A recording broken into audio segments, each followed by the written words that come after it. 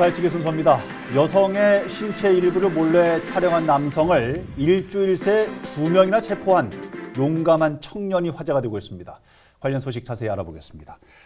아, 우리 저 지역에서 있었던 일인 모양인데요. 청주에서 20대 어, 청년이라고 얘기가 들립니다. 어떤 상황입니까?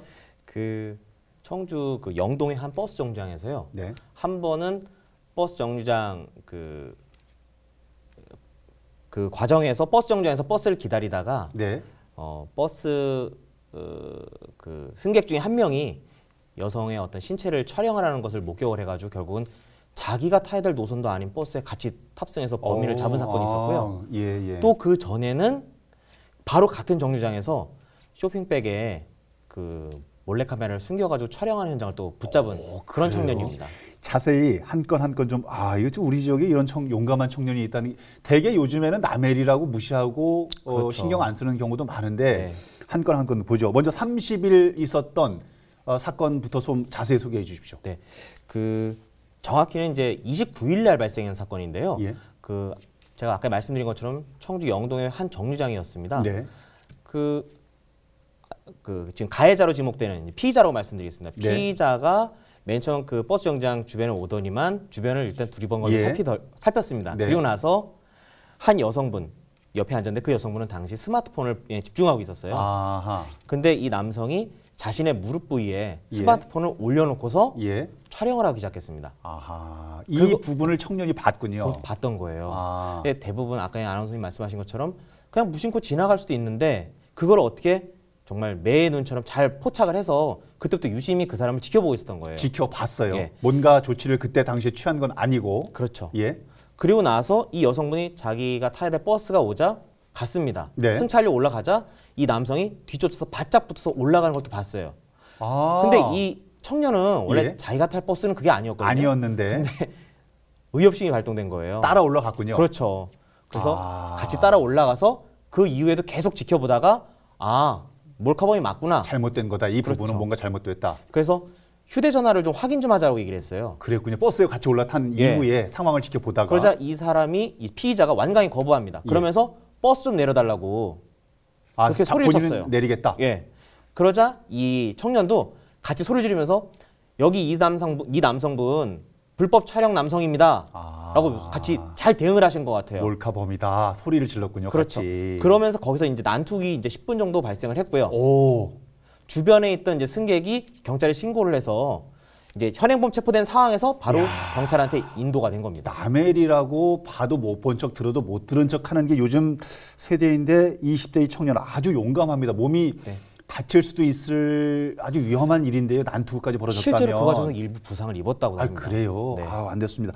이보다 이전에 있었던 일은 또 어떤 사건입니까? 바로 일주일 전인 22일 날 또 같은 버스 정류장이었어요. 같은 버스 예. 정류장. 그것도 참 공교로워요. 예. 근데 거기서 이제 버스를 기다리고 있던 중에 한 남성이 약간 좀 수상해 보였다고 합니다. 네. 그래서 유심히 그 남성을 쳐다봤는데 예. 종이 가방에 뭔가 구멍이 있는데 그 구멍에서 뭔가 빛이 반짝거린다라는 거예요. 오. 그래서 이거는 심상치 않은 가방이다라고 예. 생각해서 그 남성 남성한테 저 가방 좀 좀 볼 수 있겠냐. 의심이 됐군요. 뭔가 이상하다. 그렇죠. 그러면 전혀 문제가 없다면은 아, 왜 그러시냐? 왜 그러시냐? 예. 아, 불편하다. 그럴 수 있는데 바로 이 사람이 도주를 시작한 거예요. 근데 그. 인근에 예. 지하상가가 있었는데 지하상가 계단으로 내려가는 과정에서 이분을 붙잡으면서 계단이다 보니까 급박하지 않습니까? 예. 거기서 미끄러져서. 한 일곱 계단 정도를 또 이렇게 굴러서 또 다치게 또 아. 했다고 합니다. 그런데 결국은 이번에는 주변에 있던 시민분들이 전화를 그러니까 같이 붙잡아가지고 결국은 현행범 체포됐고 또 경찰에 인계가 된 그런 상황입니다. 야, 대단하네요. 이게 참 어려운 일인데 말씀처럼 버스 안에서도 격렬한 몸싸움이 있었고 지금 말씀 중에 계단에서 굴러서 내려갔던 부분도 있었고 다친 데도 있을 것 같은데. 팔과 발목 부위가 많이 다쳤다고 하는데요. 아하. 그럼에도 불구하고 뭐 그 언론을 보니까 이 청년은 대수롭지 않게 그냥 내가 할 일을 했을 뿐이다. 그 정도로만 이제 그 자신의 그래요? 어떤 신상에 대해서 노출되는 것도 좀 꺼려했다고 합니다. 그래요. 네. 지금 두 명의 몰카범을 잡았잖아요. 네. 이두 명 중에 한 명이 이미 수배령이 내려졌던 사람이었다는 얘기는 또 무슨 얘기입니까? 네, 그 지금 22일 날 몰카를 버- 시도했던 앞서서 예, 몰카를 가방 안에서 뭔가 이렇게 예, 했던 맞습니다.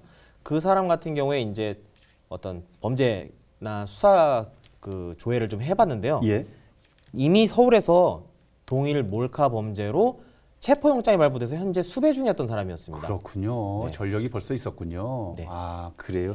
어쨌든 경찰에서는 표창장인가를 주려고 했는데 이 청년 거부했다고 네. 알려지고 있고 그러나 경찰 쪽에서는 포상금 지급 계획은 있다 이렇게 밝혔다고 네, 하는데 맞습니다. 무슨 얘기죠? 그러니까 본인은 자기는 해야 될 일을 했을 뿐이다. 이거 가지고서 내가 뭐 알려지는 것도 원하지 않는다라고 이렇게 얘기하고 있어요. 예. 그래서 해당 경찰청이 입장을 입장 원래 이제 어, 어떤 표창장도 전달하면서 포상금도 전달하려고 했는데 음. 본인이 완강히 거부하니까 참 그- 훌륭한 청년이군요. 어떻게 할 수가 없잖아요. 그래서 예. 일단은 예. 어, 표창장 수여식은 이제 취소하는 걸 하고 다만 어떤 그에 합당한 포상금은 지급할 계획이라고 합니다. 우리 저이 청년한테 박수 한번. 야, 참 대단합니다. 우리 저 청주 시민과 충북 도민을 대신해서 어, 박수 보내드립니다. 정말 대단하고요. 참 잘했습니다. 보기 좋습니다. 다음 소식으로 넘어가 보죠.